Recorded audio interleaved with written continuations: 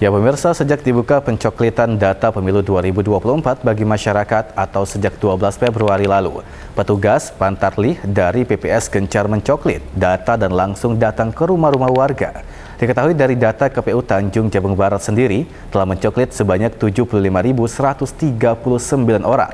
Hal ini dibenarkan langsung oleh Komisioner KPU Tanjung Barat, Divisi Perencanaan Data dan Informasi Ahmad Hadsik. Menuju pemilu 2024 mendatang, saat ini berbagai tahapan telah dilakukan oleh KPU seluruh Indonesia, termasuk KPU Tanjung Barat sendiri. Di mana hingga saat ini KPU Tanjung Barat masih melakukan proses pencocokan dan penelitian daftar pemilih untuk pemilu 2024 yang disesuaikan dengan KTP dan KK. Nantinya data yang diterima real atau sesuai dengan alamat KTP sehingga masyarakat dapat memberikan hak suara mereka di TPS yang telah terdaftar sesuai hasil coklit dari petugas Pantarli.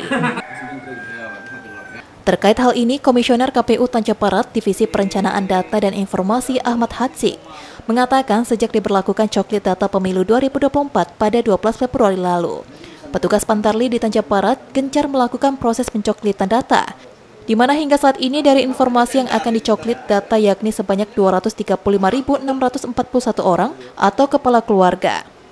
Namun hingga saat ini KPU Tanjung Barat baru mampu mencoklit data sebanyak 75.139 orang atau jika dipresentasi sekitar 31,9 persen. Dengan sisa waktu hingga 14 Maret mendatang, Hatsik optimis petugas Pantarlih dapat menyelesaikan tanggung jawab mereka sebagai petugas Pantarlih dan tetap ikuti aturan juknis yang berlaku. Dirinya juga mengatakan bahwa dari hasil pencoklitan, petugas Pantarli ditemukan data tidak memenuhi syarat ya. atau TMS karena orang tersebut telah meninggal dunia, yakni sebanyak 4.231 orang. Sudah mulai coklit sejak tanggal 12 Februari kemarin, nanti berakhir sampai tanggal 14 Maret. Uh, dimulai pada tanggal 12 tersebut, uh, teman-teman Pantarli sudah mulai coklit di hari pertama.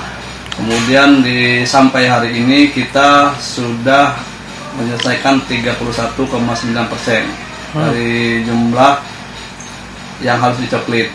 Jadi untuk Tanjung Barat jumlah pemilih yang akan dicoklit itu sejumlah 235.641. Hmm. Itu terdiri dari uh, eh, 1013 TPS. Artinya ada 1013 pantalih yang melakukan coklit yang tersebar di seluruh kecamatan di Tanjung Barat. Lebih lanjut, Hatsik menambahkan, ia meminta petugas Pantarli dapat bekerja sesuai aturan, jangan ada perjokian atau memasuk Jangan ada penjokian atau memalsukan tanda tangan kepala keluarga yang akan dicoklit. Surya Kurniawan, Jek TV, melaporkan.